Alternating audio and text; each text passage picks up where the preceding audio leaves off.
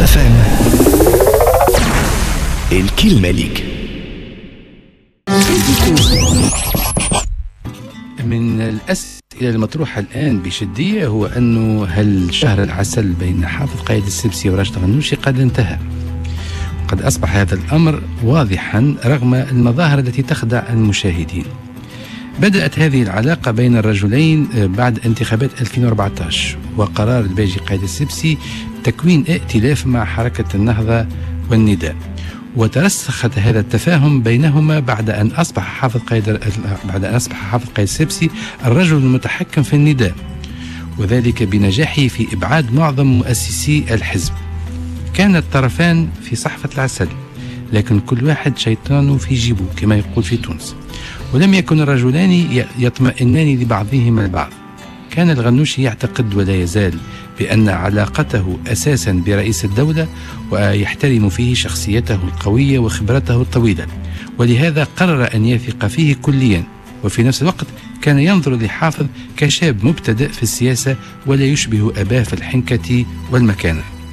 أما حافظ فيبدو أنه كان كثير الاستخفاف بالغنوشي وبحركة النهضة.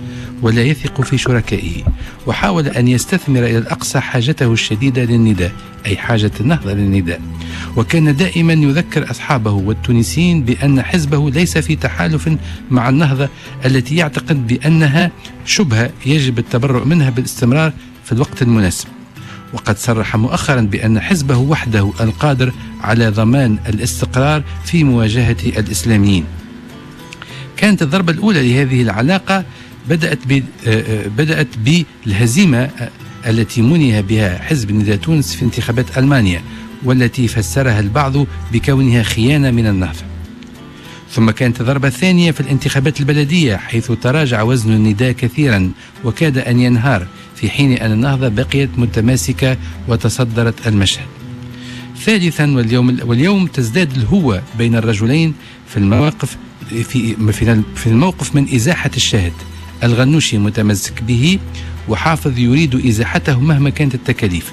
ويكفي الإشارة إلى أن تدوين حافظ الأخيرة هي رد عنيف على موقف النهضة التي رفضت إقالة الشاهد حفاظا على الاستقرار وأخذا بعين الاعتبار مطالب أصدقاء تونس. بينت الأحداث أن ابن الرئيس لم يكتشف بعد الشخصية الحقيقية لشيخ الغنوشي الذي لا ينسى من يسيء إليه. وإذا كان حافظ قايد السبسي ينوي خوض غمار الانتخابات الرئاسية في 2019 عليه أن يتأكد بأن النهضة لن تساعده على ذلك ولن تقف إلى جانبه فهي ستكون في طريق غير طريقه حينها سيضرب كل واحد منها على درب على درابه وينت وينتهي يومها زواج المتعة.